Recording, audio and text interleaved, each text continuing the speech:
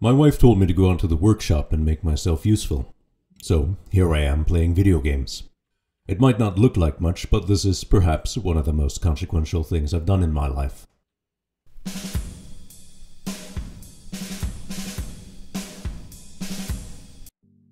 Computers have existed for a long time, but the way we engage with computers has gone through many dramatic changes as humanity entered into the digital age.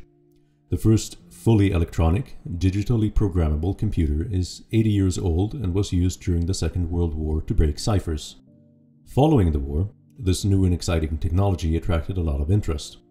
Adoption was initially slow, however, due to the sheer size, complexity, and cost of these early systems and it wasn't until a decade later that the IBM 650 became the first commercially successful, mass-produced digital computer with some 2,000 systems sold.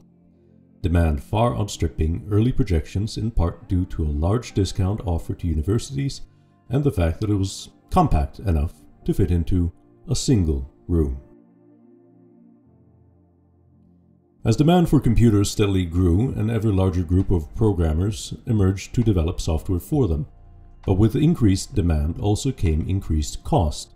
Buying a computer for every user wasn't yet an option, so corporations and institutions started to think of ways access to their computers could be shared.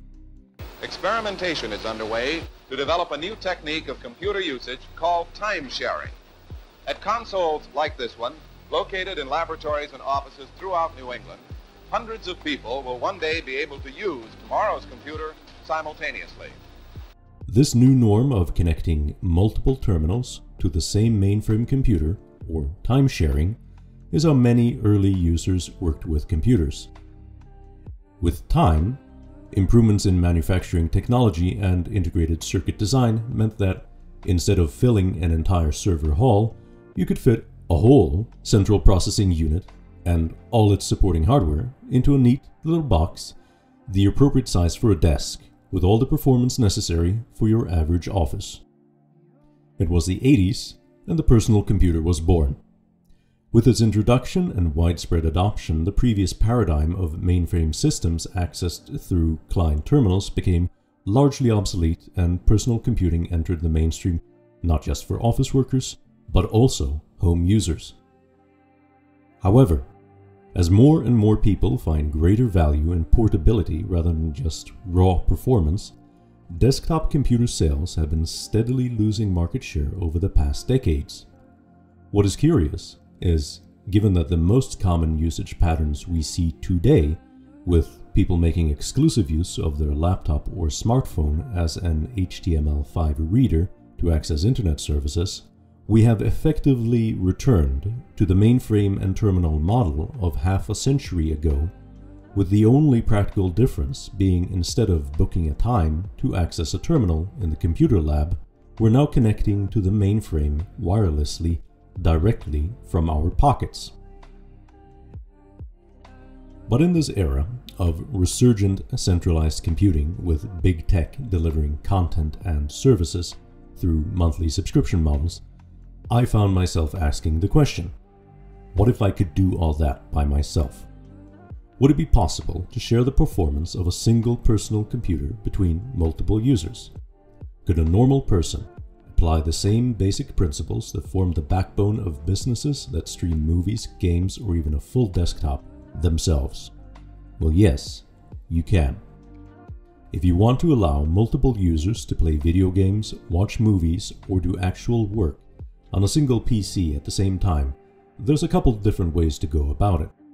One solution is to use multi-seat software like Aster that will allow multiple users to be logged in simultaneously to Windows, but the most common solution is to create some form of virtual desktop interface where each user is assigned their own operating system and a slice of the host computer's resources.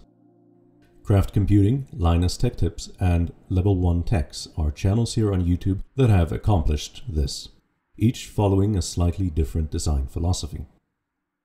Virtualization comes with many benefits compared to multi-seat configurations. You're able to create and store save states of your virtual machines that you can revert to at will, privacy of individual users can be guaranteed, and there is no risk of user error causing problems for the host or other users. There is, however, one obvious downside, and that is that each virtual machine requires its own discrete GPU if you're not prepared to spend thousands upon thousands of dollars for enterprise compute cards and then even more for licensing costs. Also, with traditional VDI implementations, the enterprise GPUs they require have no video outputs. What you have to do instead is compress the video signal and send it over a network to a thin client, which is really just a small PC that is given access to your VM and decodes the compressed video signal.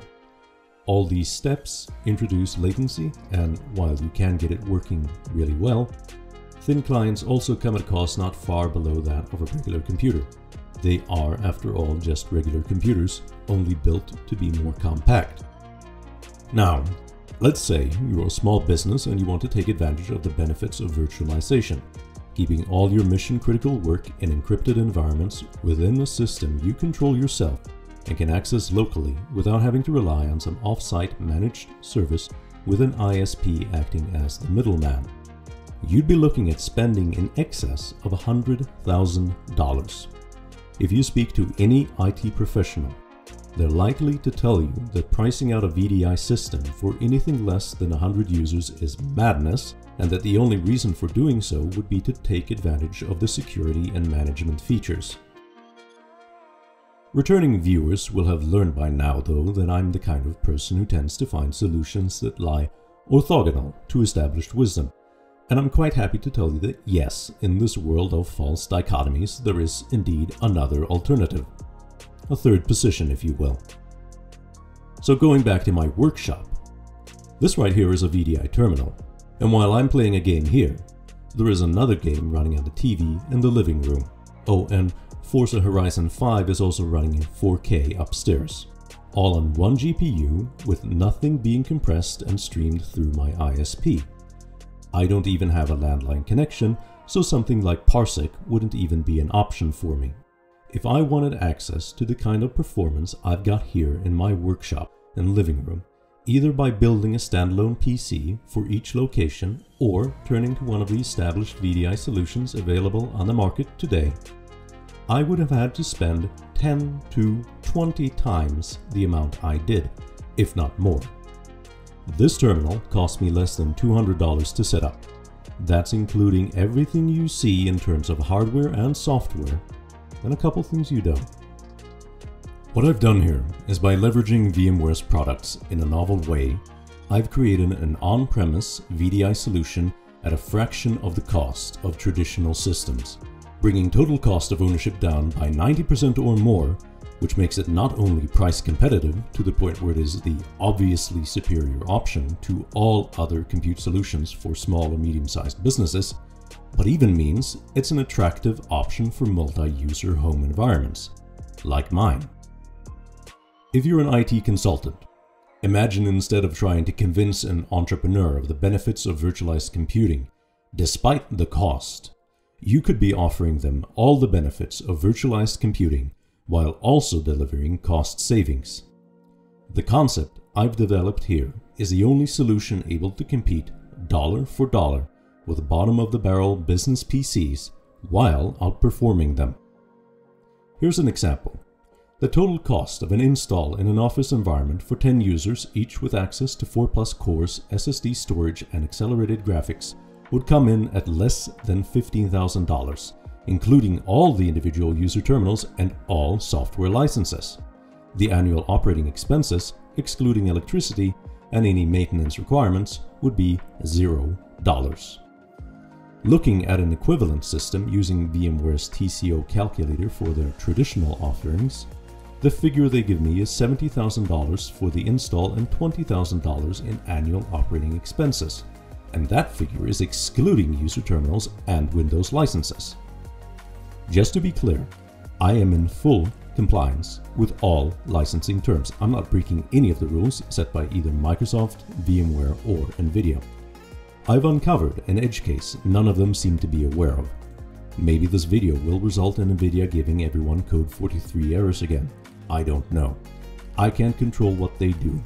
But my solution is also platform agnostic. I could just as well use an AMD GPU here and base the system on functionality found natively within Windows. VMware software stack is just much more convenient and requires less layers of workarounds to achieve these results. Now, VMware. I'm at a crossroads in my life where I'm changing careers, and I've got an offer to make. What you have created is an absolutely incredible software, and what I've been able to do with it for the past four years doesn't just mean every small and medium-sized office environment has now become a sales opportunity for you. If brought to full maturation and marketed cleverly, it'd mean every small and medium-sized office would be a guaranteed sale. If I were to simply turn this loose, it would generate millions of dollars in added sales for you. How would you like to turn that into billions?